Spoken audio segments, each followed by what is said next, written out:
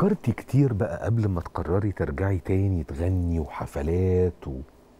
ولا قلتي قرار وأنا نازلة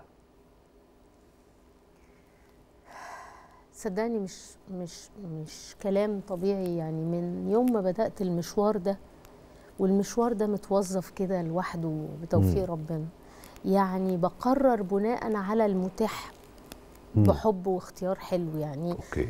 يعني مثلا مش بقول إيه أنا عايزة دلوقتي لأ. بيجي قدامي كوباية المية دي فأشرب منها. مم. بس. يعني الحفلة هي ال- أنا أعرف آه، القائمين على ساقية الصاوي آه. من بدايتي. مم. وفي عز ما أنا كنت بغني ومعروفة ومشهورة ما غنيناش في ساقية الصاوي آه. الصدفة هي اللي جابت كل حاجة جابت الأغاني بالصدفة. جابت ال- الحفلة بعد الفرفوشة لما نزلت مم. يعني الفرفوشة بعديها طنش تعش تنتعش الروح بتاعت أيوة آه. عايزة أقول لك إنه طول عمري الأغاني بتاعتي هي شبهي وشبه آه الحالة وشبه الناس وشبه الناس. صحيح. يعني أنا من يمكن من الناس القليلة قوي اللي ماليش قوي في الأغاني العاطفية قوي أو سواء حب أو فراق أو كده. نادرا ما هتلاقي لي أغاني زي كده يعني. إلا لو هي في حاجة درامية في مسرح في سينما في تلفزيون. لكن فيما عدا ذلك أنا ما بختارش الأغاني دي. أنا بختار الأغاني الم... شبهك. ال- العامة اللي مم. تفيد يعني اللي اللي تناسب كل الناس ينفع تسمعها. آه. يعني وكل الناس هتتبسط. ولاد بنات آه، آه، سنين مختلفة. فأنا ما بختارش قوي. أنا بختار من الحاجات اللي بتتاح ليا قدامي. طب القرار جه إزاي؟ إيه اللي حصل خلى سيمون وبالمناسبة هو قرار رائع لكن إيه اللي حصل خلى سيمون خدت قرار أنا هرجع أغني تاني وهرجع أعمل حفلات تاني؟ هي كل الأمور كانت بتيجي الأول مثلا أما بدأت أنا مغنية أصلا مم. وبدايتي وشهرتي وحب الناس جه من الغنى من الغنى وجه من الأغاني المصورة مم. وجه من الحفلات داخل مصر وخارجها مم. وكانت حالة فيها ثراء غنائي كويس وقتها جدا جدا مم. وبعد كده جت الدراما سينما و...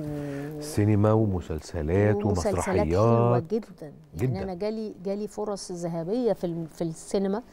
أول ظهوري كان مع سيدة الشاشة العربية فاتن فاتن حمامة. حمامة يوم مر ويوم حلو خيري بشارة. تخيل.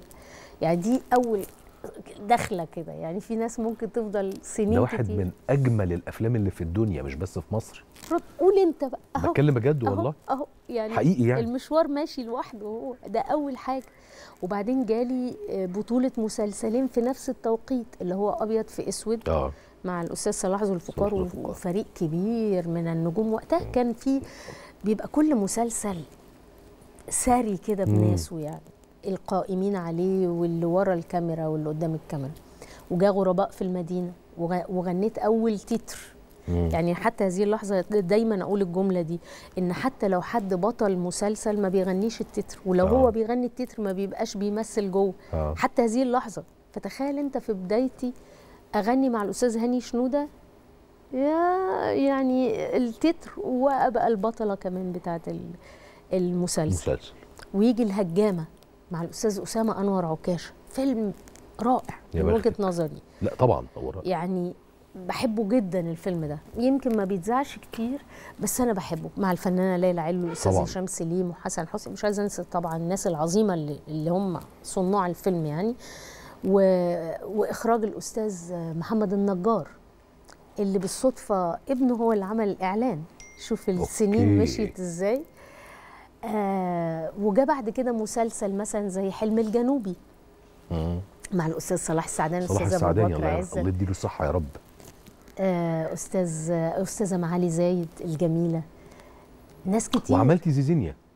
وعملت أسامة أنور عكاشه برضه اسامه لا آه، زيزانيا هو أسامة أستاذ أسامة أنور عكاشه وإخراج الأستاذ آه. آه. جمال عبد الحميد لكن آه،. حلم الجنوبي كان الأستاذ جمال عبد العزيز آه. آه. عبد الحميد لا علشان أنت عملتي الهجامة مع أسامة أنور عكاشه وعملتي زيزينيا مع عملت عكاشة. مع أستاذ أسامة أنور عكاشه بس الكتابة للأستاذ صفاء عامر في مم. في حلم الجنوبي حلم دكتورة. رؤيه آه وعملت مع الأستاذ محمود مرسي أبو بختك. البشري طبعا 90 يا اللي هو. الجزء الجزء التاني. الثاني كان وكانت مامتي آه السيدة ليلى فوزي الفنانه ليلى فوزي يعني بص العظمة إخراج. الأستاذ محمد فاضل فاضل وبرده كان الأستاذ أسامة أنور عكاشة اللي كاتب بص أنا حتى وأنا بتكلم بتكلم بحماس إزاي لأنه حاجة جميلة جدا جالي بعد كده كمان عيلة شمس مع. الأستاذ جميل راتب كانت أول دكتورة. مخ وأعصاب في مصر إن أنا أعمل دور دكتورة مخ وأعصاب تهاجر الزلزال يجي وتوابعه وتقع عيلة شمس. فتقرر إن هي تكمل وتسافر بره وهم اختاروني كمان عشان أنا كنت كمان يعني اللغة الفرنساوي آه. كنت يعني متمكنة كويس منها. متمكنة منها فسافرنا فرنسا وكلود سيرني وحسيت إن أنا بقيت عالمية بقى طب دي حاجة كويسة آه وليه لأ